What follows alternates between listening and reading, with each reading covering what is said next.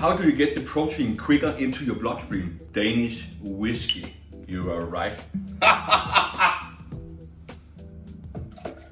Just a little bit, not too much. Here we go.